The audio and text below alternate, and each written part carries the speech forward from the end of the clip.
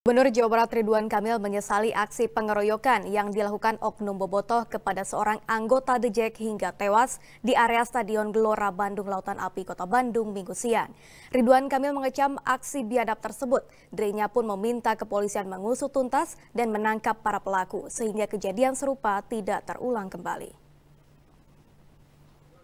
Gubernur Jawa Barat Ridwan Kamil menanggapi tewasnya seorang supporter Persija The Jackmania akibat ulah sekelompok oknum bobotoh di area Stadion Gelora Bandung Lautan Api minggu siang dengan serius.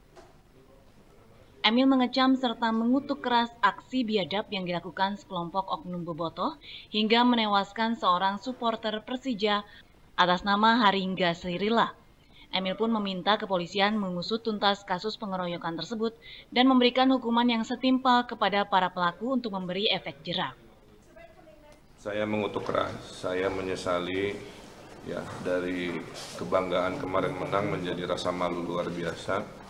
Saya sangat berduka cita kepada uh, individu uh, siapa namanya Haringga yang yang menjadi korban kebiadaban ya dari oknum uh, penonton ya uh, yang saya juga baru dapatkan informasinya Haringga ini ternyata keluarganya warga Jawa Barat maka dimakamkannya itu di Indramayu. Jadi dia adalah warga Indramayu yang hijrah ke ibu kota kira-kira. Nah saya sangat menyesalkan dan meminta PT Persib untuk terus melakukan pembinaan ya kepada Boboto atau kepada mereka-mereka yang menjadi fans bolanya saya sudah minta Pak Umuh ke Indramayu Pak Umuh sekarang kalau tidak salah harusnya posisinya ada di Indramayu untuk mengunjungi keluarga korban kira-kira begitu Selain itu, Emil meminta manajemen Persib membina Bobotoh untuk mengurangi kekisruhan antara supporter Persib atau Bobotoh dengan Jackmania, sehingga kejadian seperti ini tidak terulang kembali.